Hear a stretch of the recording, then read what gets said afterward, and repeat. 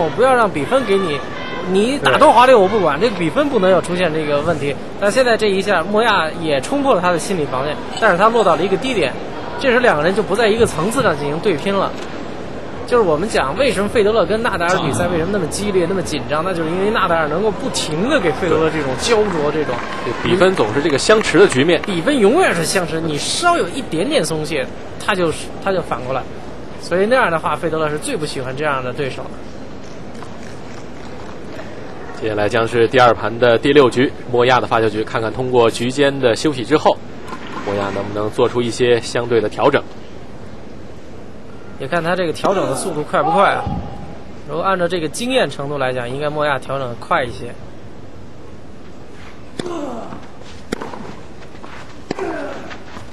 至少先要把自己的主动失误降下来。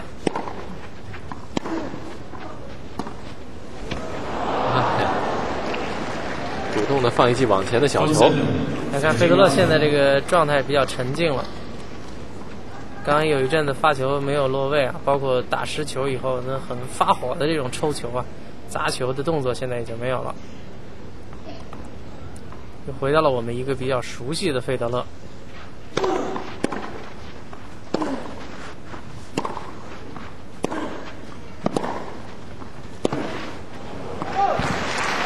还是利用正拍。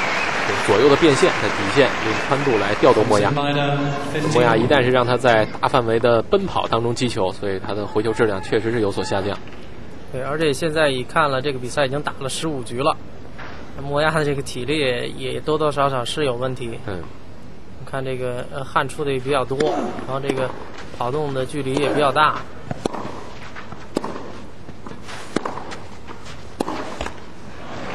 主动失误多，这也是体力下降的一个反照。脚步移动不到位，失误就会多。对，主动失误这个东西呢，一开始比赛一开始的时候，多是受心理影响，因为职业球员他不可能出现一上来就说我没练好这项技术，我一上来技术也不是这样的。嗯，但是到后半程呢，可能会有这个呃心理技术、心理和体力同时这个问题。安莫亚还这点不错，发球一定要冲得狠一点，才能保证自己的发球局不要被对手咬得过死。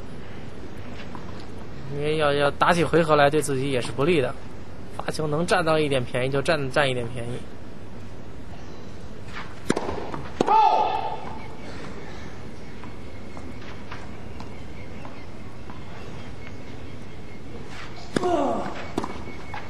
接发球直接上网。漂亮的小高球，对，这个弧线选择的非常漂亮，落在了底线上。费德勒反拍的高压，但是没有打到这个球。不这是最经典的那个发球上呃接发球以后上网的这个策略，就是因为它太经典，被几十年来人们研究透彻了。像莫亚这样的球员，已经这是已经成为一种本能了。你如果接发球、切球、随球上网，我就直接这种挑高球，基本上都是这一种打法，屡试不爽。你可能我打别的挑高球，我会心里有一定影响；打这种挑高球没任何影响，手到擒来，我闭着眼睛就能把球挑过去。所以这也是这个呃底线型的这个打法在七十年代末啊能够迅速上升，他们给这个网坛注入了一些新的元素。这也是为什么现在发球上网和接发球上网这纯上网战术为什么逐渐的淡出我们这视野，到现在基本都成化石那种打法。摩亚，摩亚发球局占先。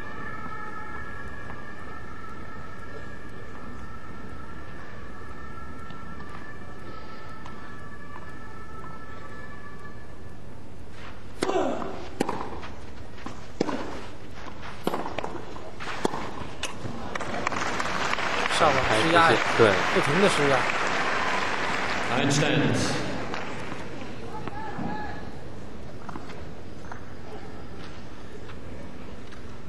对摩亚来说，他就必须要在这个时候，对手不停的这个要施压的这个势头起来的时候，要要把自己的发球发好，一发的成功率发出来。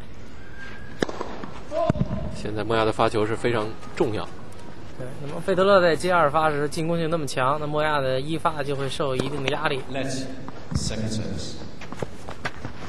他知道我必须要把一发发好，我必须要把一发发中，必须要把落点什么角度旋转全要做到最好。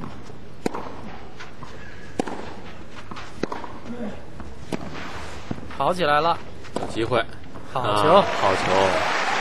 一旦是让莫亚在底线调动起来，调动开之后，那么费德勒就有机会。我们已经能感觉到这场上这个气势，现在已经向费德勒这边比较倾斜了，已经扭转过来了，已经已经倾斜过来。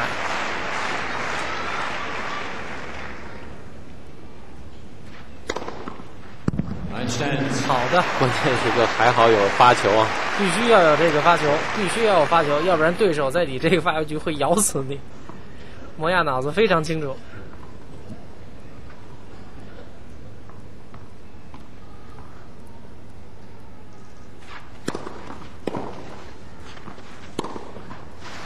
好球！那么这一分还是依靠自己出色的外脚发球。就像在这个篮球比赛里，关键的时候，什么取分方式最稳定？要力保的就是发球。罚球跟这个网球的发球一样，对手没不会干扰你，你自己去去去投篮，你自己去发球。如果你能把这个直接能够取得这个分，你要取得不了或者优势占不了的话，在网球里，那可能你就危险了，因为对手逼得你很紧。二发。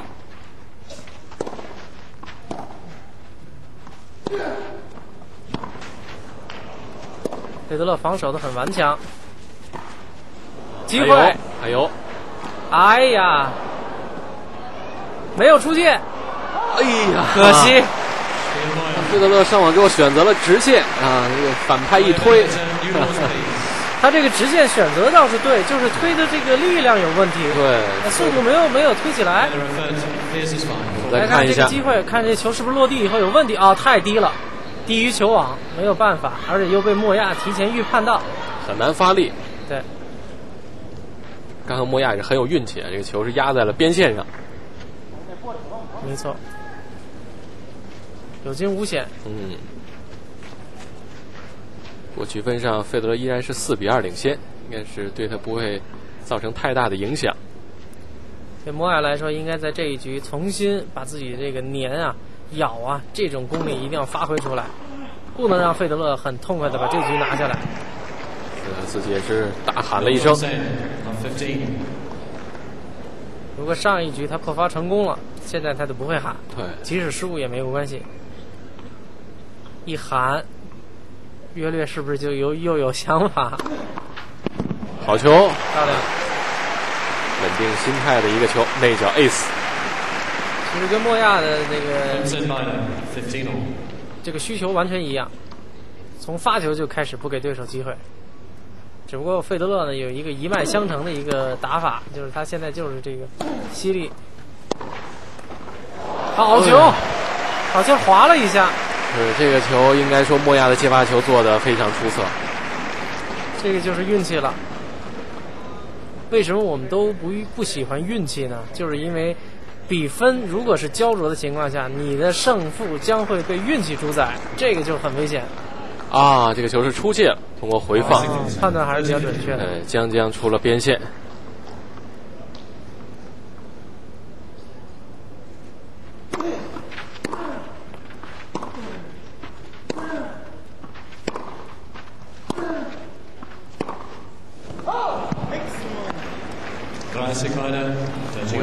形成多拍相持之后，死死的咬住了费德勒的反拍。那为什么我们一直在渴望看精彩的比赛？什么是精彩的比赛？精彩比赛为什么就是多是一种焦灼的比分？因为每一分都有偶然因素来决定这一分的归属，或者由球员那个强大的意志和高超的这个安排。一直是为了留有这种比赛的悬念。对，有悬念才精彩。那现在我们看到这个比赛是比较有悬念。两个球员。